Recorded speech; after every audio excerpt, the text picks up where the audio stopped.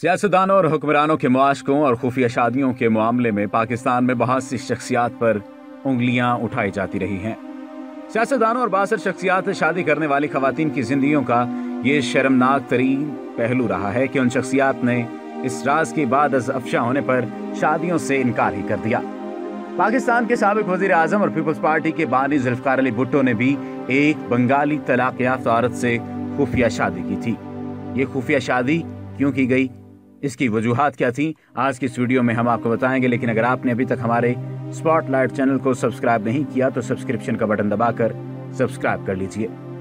بلاول بھٹو کے نانا ذوالفقار علی بھٹو کی ذاتی زندگی کے کئی سیاہ پہلو ہیں، جن میں سے ایک کڑوا سچ یہ ہے کہ انہوں نے جب تیسری شادی کی، تو بلاول بھٹو کی نانی نصرت بھٹو نے خودکشی کی خوفناک کوشش کی تھی۔ ممتاز کار نویز اور دشیر کاوزی نے ایک بار محقق والپرٹ کو انٹرویو دیتے ہوئے انکشاف کیا تھا کہ جب نصرت بھٹو نے خودکشی کی کوشش کی تھی تو انہیں پارسی اسپتال میں داخل کرا دیا گیا۔ ایک بار نصرت بھٹو نے ارد شیر کاوش جی کی بیوی نینسی کاوش جی کی مدد سے صدر ایوب خان سے اپنے شوہر کی بے وفائی کا بھی ذکر کیا تھا۔ نصرت بھٹو اپنے شوہر کے خفیہ معاشقوں کی وجہ سے پریشان تھیں، جبکہ وہ ان کے چار بچوں کی ماں بھی بن چکی تھی انہوں نے اپنا گھر بچانے کی بہت کوشش کی۔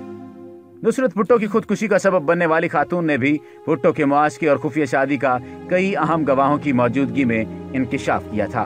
سٹینلی والپرٹ بھی بھٹو پر لکھی جانے والی اپنی کتاب زلفی بھٹو آف پاکستان میں اس بنگالی خاتون حسینہ شیخ کی خوبصورتی اور بھٹو سے معاشقے کی حقیقت کو کھول کر بیان کیا ہے۔ ممتاز صحافی ندیم فاروق پراچا نے اپنے کالم میں بھٹو کی تیسری اور خفیہ شادی اور معاشقے سے وابستہ داستانوں کو تحریر کرتے ہوئے لکھا تھا کہ انیس سو اکسٹھ میں ایوب کی آنکھوں کے تارے اور چونتیس سالہ نوجوان وزیر بھٹو کی ملاقات ڈھاکہ سابق مشرقی پاکستان میں ایک نوجوان خاتون سے ملاقات ہوئی۔ اس کا نام حسنہ شیخ تھا۔ اس وقت حسنہ کی عمر پچیس سے تیس سال کے درمیان تھی۔ اس کی شادی ایک کامیاب بنگالی وکیل عبد الاحد سے ہوئی تھی۔ ان کی دو بیٹیاں تھیں۔ اردو، انگریزی اور بنگالی بہت روانی سے بولنے والی حسنہ بنگالی اور پشتون نسل کا امتزاج تھی۔ ان کی دلکشی اور ذہانت نے ذوالفقار علی بھٹو کا دل موہ لیا۔ انڈیا ٹوڈے کے اکتیس دسمبر انیس سو ستتر کے ایڈیشن، جس نے بعد میں حسنہ کے بھٹو کے ساتھ تعلقات کی کہانی شائع کی، اس کے مطابق اس وقت حسنہ کے اپنے وکیل شوہر کے ساتھ تعلقات خراب تھے۔ اگرچہ بھٹو نے اپنی تمام تر وجاہت اور کشش کے ساتھ اس کا تعاقب کیا، لیکن حسنہ ان کی پہنچ سے دور رہیں۔ اگرچہ بھٹو نے اپنی تمام تر وجاہت اور کشش کے ساتھ اس کا تعاقب کیا، لیکن حسنہ ان کی پہنچ سے دور رہیں۔ بھٹو کی بے قراری اپنی انتہا پر تھی۔ انیس سو انہتر میں حسنہ نے اپنے شوہر سے علیحدگی اختیار کر لی اور اپنی دونوں بیٹیوں کو لے کر کراچی چلی آئی۔ اس نے کراچی کے اس وقت کے انتہائی پوش علاقے باس آئی لینڈ کے ایک اپارٹمنٹ میں رہائش اختیار کی۔ یہ اپارٹمنٹ بھٹو کی کراچی میں رہائش گاہ سیونٹی کلفٹن سے دس منٹ کی ڈرائیو پر تھا۔ ملی ہالون فرائیڈے ٹائمز میں شائع ہونے والے ایک مضمون میں لکھتی ہیں کہ جب حسنہ کراچی میں قیام پذیر ہو گئی تو مصفا کھر نے بھٹو کو ان سے راہ و رسم بڑھانے میں سہولت فراہم کی۔ صرف کھر جو کہ بھٹو کے انتہائی قریبی رازاں سے اس معاملے سے واقف تھے۔ وہ نہایت رازداری سے گاڑی چلاتے ہوئے بھٹو کو بات آئی لینڈ میں حسنہ کی اپارٹمنٹ پر لے جاتے۔ تاہم، جس سال ان کا مواسکہ پروان چڑھا، اسی سال بھٹو کے اپنے اتاریخ ایوب خان کے ساتھ تعلقات میں بگاڑ آنا شروع ہو گیا۔ ایوب نے انہیں اپنی کابینہ سے نکال باہر کیا۔ اگلے برس انیس سو سڑسٹھ میں بھٹو نے اس کا جواب اپنی سیاسی جماعت پاکستان پیپلز پارٹی بنا کر دیا۔ پاکستان پیپلز پارٹی بائیں بازو کے نظریات کی حامل ایک عوامی جماعت کے طور پر سامنے آئی۔ حسنہ، ایک پر اعتماد، تعلیم یافتہ اور ضدی عورت تھی۔ ملیحہ لون اپنے مضمون میں تہمینہ دورانی کی کتاب مائی فیوڈل لارڈ کا حوالہ دیتے ہوئے لکھتی ہیں کہ انیس سو ساٹھ کی دہائی کے آخر تک یہ معاملہ اتنا دھماکہ خیز ہو چکا تھا کہ بھٹو کی شکل دیکھتے ہی حسنہ زور سے دروازہ بند کرتے تھیں انیس سو سڑسٹھ میں حسنہ کو ابو دبئی میں ابو شیخہ فاطمہ محل کی تزین و آرائش کا پرکشش کانٹریکٹ مل گیا۔ اس سے وہ کراچی میں دو جائیدادیں خریدنے کے قابل ہو گئیں۔ یہ ان کی آزادی کا اعلان بھی تھا۔ انہوں نے ذوالفقار علی بھٹو کو کھلے الفاظ میں بتا دیا کہ اب وہ اس وقت تک نہیں ملیں گی جب تک وہ ان سے شادی نہیں کر لیتے۔ انیس سو اڑسٹھ میں ایوب خان حکومت کے خلاف طلبہ اور مزدور یونینز کی ہنگامہ خیز تحریک کی روح رواں ذوالفقار علی بھٹو اور پاکستان پیپلز پارٹی تھے۔ یہ وہ دور تھا جب حسنہ نے بھٹو کی شادی کے لیے قائل کر لیا۔ تاہم، انیس سو انہتر میں جب وہ حسنہ سے شادی کا فیصلہ کر چکے، انہیں ریاست کے خلاف تشدد پر اکسانے کی پاداش میں گرفتار کر کے جیل بھیج دیا گیا۔ ذوالفقار علی بھٹو نے حسنہ سے درخواست کی کہ وہ انتظار کرے۔ وہ ایوب خان کا تختہ لوٹنے کے بعد ان سے شادی کا وعدہ ضرور پورا کریں گے۔ مری ہالون لکھتی ہیں کہ جب ایوب نے انیس سو انہتر میں استعفیٰ دیے دیا، تو بھٹو کی حسنہ سے ملاقات ہوئی۔ حسنہ نے انہیں دیکھتے ہی کہا، ون تھرٹی تھری، تم نے سب میری خاطر کر دکھایا۔ اوہ، تم میرا مقدر ہو۔ فاطمہ لون لکھتی ہیں کہ یہ سن کر بھٹو بچوں کی طرح پھوٹ پھوٹ کر رونے لگے۔ سٹین لیول پرٹ لکھتے ہیں کہ انیس سو ستر کے انتخابات میں بھٹو کی پاکستان پیپلز پارٹی نے مغربی پاکستان میں زیادہ تر نشستیں جیت لی تو وہ ایک مرتبہ پھر اس وقت کے ہمراہ، خفیہ طریقے سے حسنہ کے بات آئی لینڈ والے اپارٹمنٹ میں جانے لگے۔ تاہم ایک روز بھٹو اور حسنہ میں شدید جھڑپ ہوئی۔ اور اس کی وجہ یہ تھی کہ بھٹو شادی کے وعدے سے منحرف ہو رہے تھے۔ مایوسی کے عالم میں بھٹو نے ایک بار پھر شادی کا وعدہ کیا۔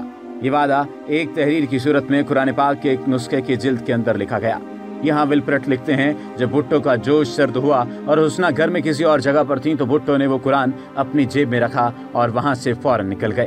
مسئلہ یہ پیش آیا کہ جلدی آنے کی وجہ سے وہ گھر کو نہ مل سکے۔ چنانچہ بھٹو کو سیونٹی کلپٹن تک کا سفر پیدل طے کرنا پڑا۔ یہ تیس منٹ کا راستہ تھا۔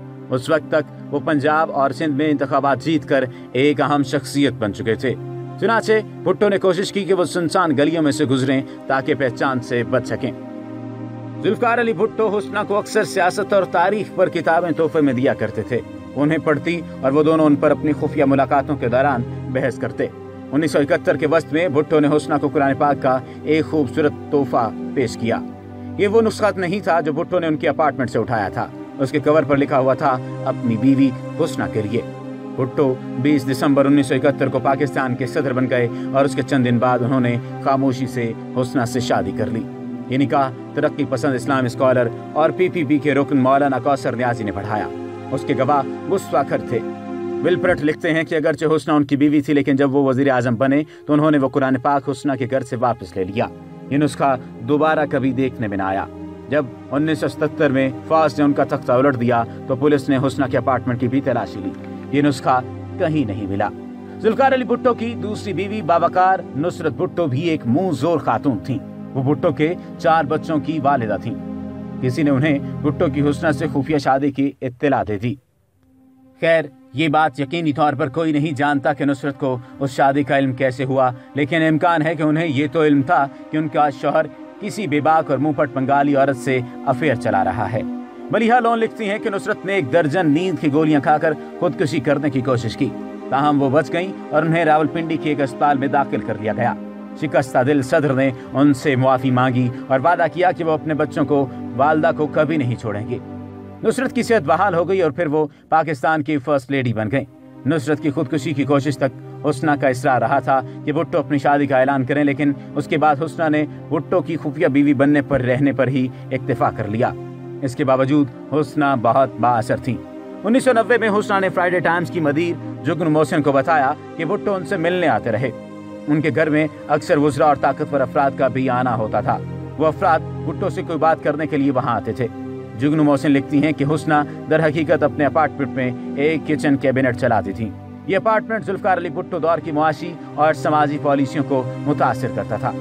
حسنہ نے محسن کو بتایا کہ ایک روز اس نے بھٹو سے پوچھا کہ وہ اتنی جلدی میں کیوں ہوتے ہیں؟ تو ان کا کہا تھا کہنا تھا کہ وہ جانتے ہیں کہ آخرکار وہ انہیں ہلاک کر دیں گے۔ حسنہ نے وضاحت نہ کی کہ بھٹو کی مراد کن سے تھی۔ ممکن ہے کہ ان کا اشارہ اسٹیبلشمنٹ یا ملک کے دائیں بازو کے مذہبی حلقوں کی طرف ہو۔ جو انیس سو ستر کی دہائی کے وسط میں بہت طاقتور ہو چکے تھے۔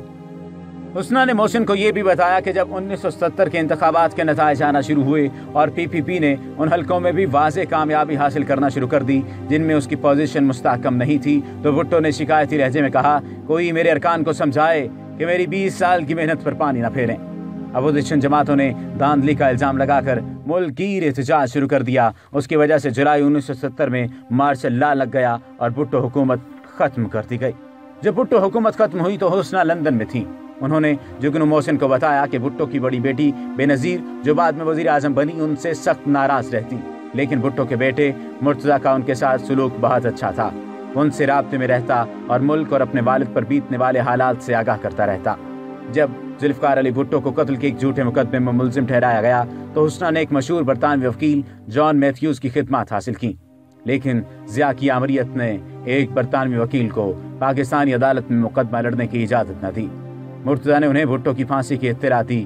شکستہ دل حسنہ نے خودکشی کرنے کا سوچا، لیکن پھر انہوں نے اپنی بیٹی کا سوچتے ہوئے خودکشی کا ارادہ ترک کر دیا۔ یہ بیٹی شمیم ان کی بھٹو سے واحد بیٹی تھی اس کے بعد وہ مستقل طور پر لندن میں ہی رہنے لگی امید ہے کہ آج کی ویڈیو آپ کو پسند آئی ہوگی اور آپ کو خاصی معلومات ملی ہوگی۔ لیکن اگر آپ نے ابھی تک ہمارے چینل اسپاٹ لائٹ اسٹوڈیو کو سبسکرائب نہیں کیا، تو سبسکرپشن کا بٹن دبا کر سبسکرائب کر دیجیے